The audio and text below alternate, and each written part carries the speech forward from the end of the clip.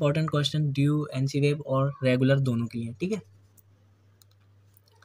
Unit one के important question देखते हैं पहले हम। पहला क्वेश्चन है, हमारा लोकमत क्या है? भारतीय लोकतंत्र के संदर्भ में इसकी प्रासंगिकता की व्याख्या कीजिए यानी पहले आपको बताना है कि लोकमत या जनमत क्या है, उसका अर्थ बताना है डेफिनेशन बतानी है आपको। फिर आपको बताना है कि लोकतंत्र में इसकी प्रासंगिकता क्यों है, ठीक है? इसके भी मैंने आपको पहले ही बता चुका हूँ पिछले वीडियोज़ में यूनिट वन में, कि लोकमत क्यों ज़रूरी है हमारे लिए, ठीक है? क्वेश्चन टू है, हमारा भारतीय लोकतंत्र में जनमत का क्या महत्व है?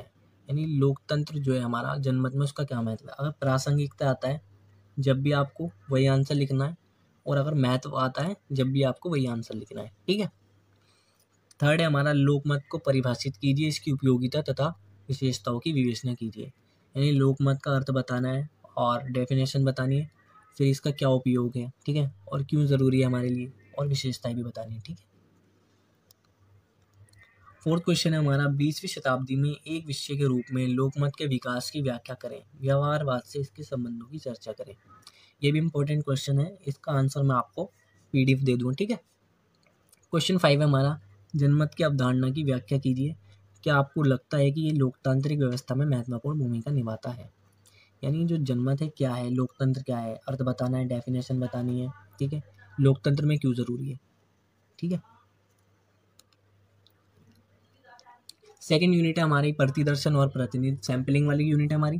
क्वेश्चन बने हमारा प्रति चयन से आप क्या समझते हैं या सैम्पलिंग से आप क्या समझते हैं? रैंडम और नॉन रैंडम सैम्पलिंग के बीच अंतर स्पष्ट करें। यानी आपको रैंडम और नॉन रैंडम सैम्पलिंग के बीच अंतर बताना है। सैम्पलिंग क्या होती है? शोध में प्रयोग होने वाली विभिन्न सैम्पलिंग तकनीकों की विवेचना कीजिए यानी जो भी सैम्पलिंग टेक्निक है हमारी नॉन रैंडम या रैंडम में जो जो सैम्पलिंग है स्ट्रेटिफाइड सैम्पलिंग हो गई हमारी, ठीक है? क्लस्ट क्लस्टर तो है नहीं, आपकी स्नोबॉल सैम्पलिंग हो गई, ठीक है? जितनी भी टाइप्स ऑफ़ सैम्पलिंग है, सब आपको बताने हैं। वीडियोज़ में आपको मैं बता चुका हूँ। थर्ड हमारा प्रतिदर्शन क्या है?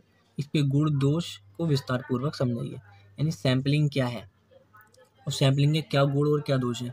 मैंने आपको कल एक पीडीएफ भेजी थी, उसके अंदर आपको इनके आंसर भी देखने को मिलेंगे, ठीक है? फोर्थ है हमारा स्नोबॉल सैम्पलिंग से आप क्या समझते हैं? ये आपका शॉर्ट क्वेश्चन आएगा स्नोबॉल सैम्पलिंग वाला। स्नोबॉल सैम्पलिंग में आपको बता चुका हूँ कि वो आगे बढ़ती चली जाती है एक बर्फ़ के गोले के रूप में, ठीक है?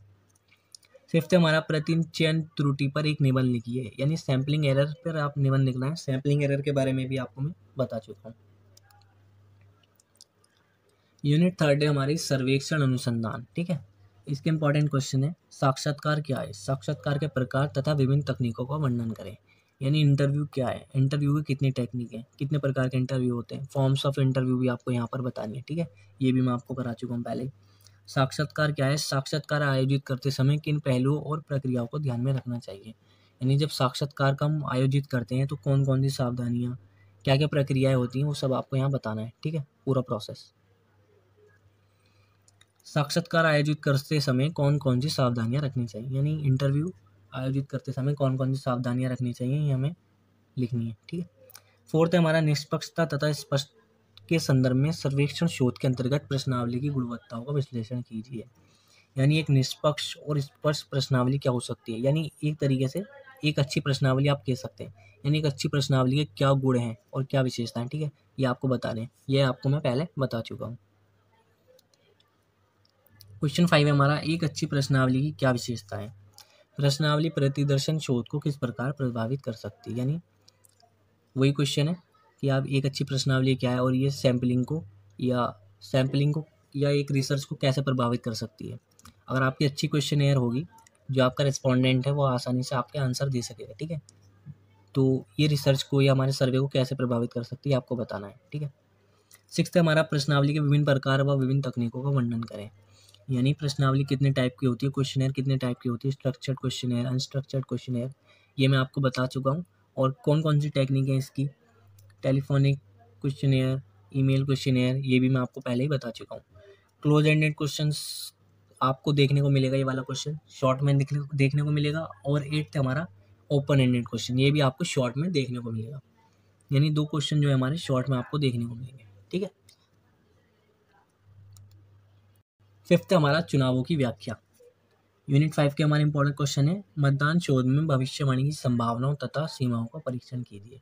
पोलिंग रिसर्च में भविष्यवाणी की क्या क्या संभावना है और क्या क्या सीमा है, इसमें आपको बताना है। मतदान शोध में भविष्यवाणी के क्या नुकसान है, ठीक है? यानी पिटफॉल्स ऑफ़ पोलिंग रिसर्च ये आपको बताना है।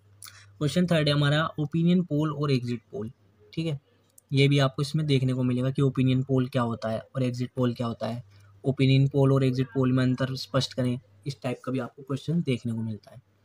तो ये हमारे इंपॉर्टेंट क्वेश्चन थे। अगर वीडियो अच्छी लगी हो तो चैनल को सब्सक्राइब